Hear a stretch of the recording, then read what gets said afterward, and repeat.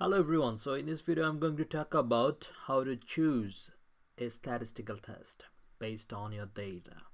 So different types of data requires different types of statistical test for analysis.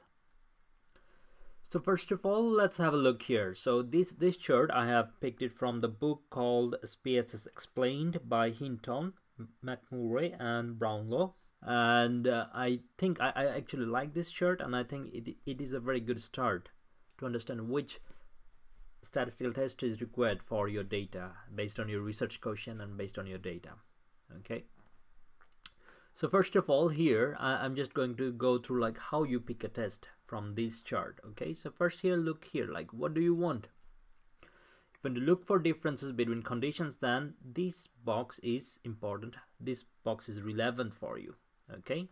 This part okay so here within this we have other categories. And again here if you want to compare frequency counts for categorical variables then this is relevant for you.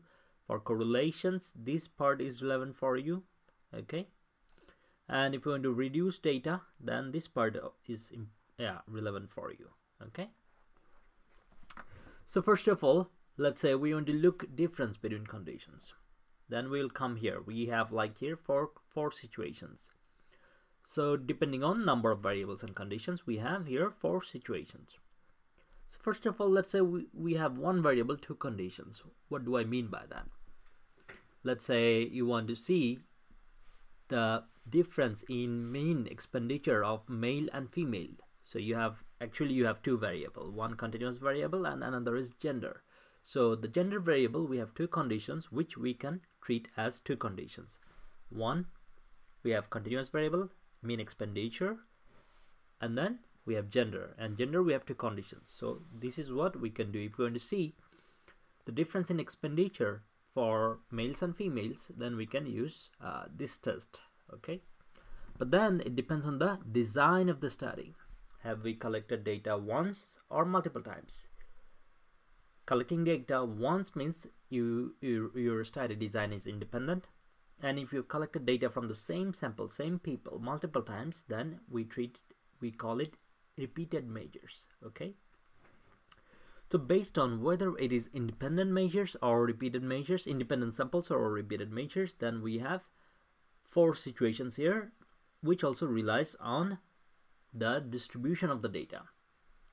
So here we have two conditions parametric and non-parametric. So if your data is parametric that means your data is normally distributed and if your data is not normally distributed then you will go for non-parametric test okay?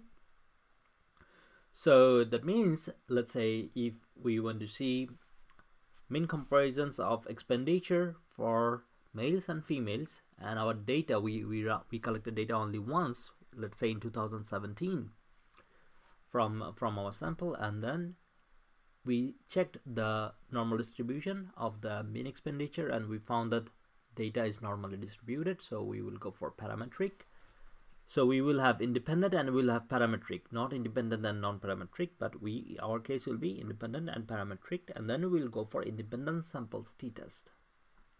But in case we would have collected data independently but data was not normally distributed we should have gone for Mann-Whitney U test okay? And in case we would have collected data multiple times okay? We we we had a situation like we we collected data for a eh, mean expenditure in 2017 and mean exp expenditure in 2018 and we want to compare the difference in these two years. So we have one variable but here we have two conditions which are the years the years are the two different conditions okay? Then we would go for related t-test if data was normally distributed if it was not normally distributed, then we will go for Wilcoxon test.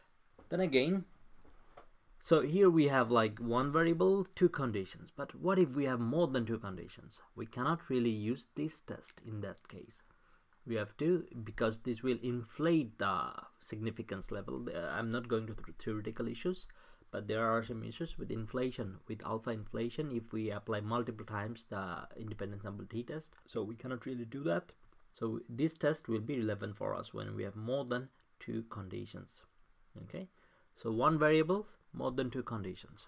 Let's say we have a variable like exam score and then we have three programs. Academic vocational general. We have three programs and we want to see we want to compare the result of the exam scores. We want to compare for the three different groups of uh, three different program program groups okay? So then we will be using something from here based on the uh, other things as well. Like we have to again look into the study design if it is independent measures or if it is re repeated measures.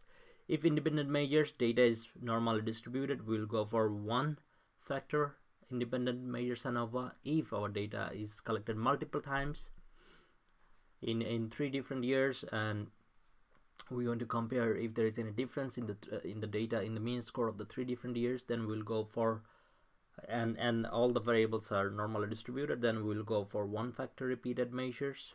And if we had independent measures and data was non-parametric then we'll go for Kruskal Wallis if uh, our data was collected multiple times and data was non-parametric we'll go for Friedman. And then if we had two variables what would we do and we want to our, our study design is independent measures on both variables and data is parametric then we'll go for two factor ANOVA. If we had one variable and one repeated measure factor then we'll go and and our our data is parametric then we'll go for two factor repeated ANOVA measures. If the study de design is that repeated measures on both variables then we'll go for and data is normally distributed then we'll go for two factor mixed design ANOVA if we had more than one variable which is also possible to check for um, normally if if the the dependent variables are associated with each other then we can sometimes do it like this that we we we do uh, check the effect of an independent variable on the two dependent variables at a time. So we, we can do we can do this test uh, we, we can also test uh, two dependent variables I mean more than more than one dependent variables. It could be two it could be three okay so then again data if data is collected only once and data is normally distributed then we'll go for independent MANOVA if data is collected multiple times and we, we and and data is normally distributed we'll go for repeated measures MANOVA and sometimes we may have situations where we want to compare frequency counts. We want to do some hypothesis testing of two categorical variables. In that case, we will go for non-parametric and uh, of course uh, categorical variables are non-parametric and then we have to do the chi-square test and then we can also look for correlations. If we have two variables and data is parametric we'll go for Pearson. If data is non-parametric we'll go for Spearman. If uh, data is non-parametric and categorical then we will go for Kendall's tau okay? So co for correlation between two categorical variables we go for Kendall's tau and if we have two or more variables then we'll go for some regression if, if data is normally distributed we will go for multiple regression. If we have some binary variables as well which is not that dependent variable independent binary variables okay? In those cases we will again we will still use uh, multiple regression. But just for information if the dependent variable is binary then we have to go for logistic regression okay? Which is not shown here in this chart. And sometimes we collect data for one concept using multiple questions and then we want to make factors of that or we want to get a one value for all the multiple uh, questions that we used for, for the for the for data collection. So in those cases we will normally go for factor analysis okay? So factor analysis is normally based on the correlation uh, correlation among the variables or like items that makes a factor. So that's what we will do and when we do factor analysis, it is important to do reliability analysis of the factors. Okay, so this uh, reliability analysis is kind of related with that. So thank you very much for watching this video. If you like it, please like, comment, share, and subscribe to our YouTube.